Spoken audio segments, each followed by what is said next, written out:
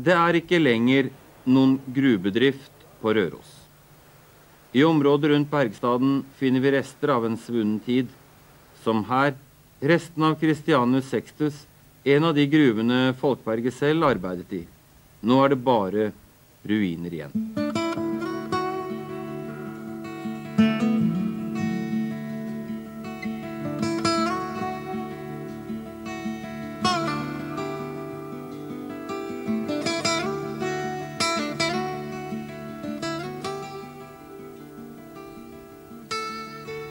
Det krevdes mye arbeidskraft å drive slikt bergverk. Ikke bare skulle malmen tas ut og foredles. Nede i gruvene var det en lang rekke oppgaver som skulle ivaretas. Ikke minst måtte alt grunnvannet pumpes opp. Hvis ikke ville gruvene kunne bli oversvømt, og liv kunne lett gå tapt. I det hele er en gruve et arbeidssted der man på liv og død er avhengig av hverandre. Dette skapte et helt spesielt samhold. Her var det at Falkberget fulgte med sin far som liten, og arbeidet fram til han var 27 år. Men en helt vanlig arbeider var han nok ikke. Det å være med far sin oppå gruva i åtteårsalderen, det var kanskje ikke helt uvanlig. Men det å sitte i sene nattimer og være interessert i skjønnlitteratur, og også skrive sjøl, det var nok mer uvanlig. Delvis ble han nok mobba for det, men gruvkarene gruvekarene hadde også bruk for han.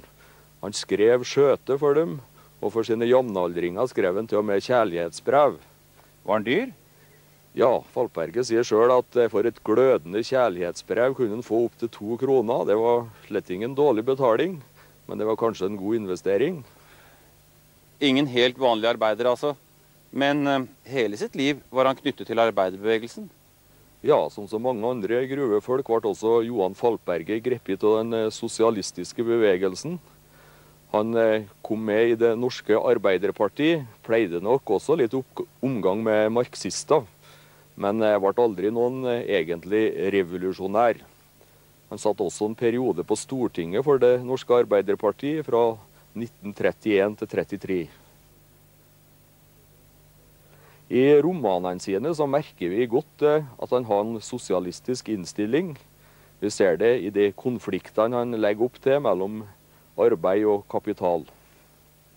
Selv om Falkberget bosatte seg på Ratvollen, betydde likevel selve barndomshjemmet noen hundre meter unna svært mye for ham.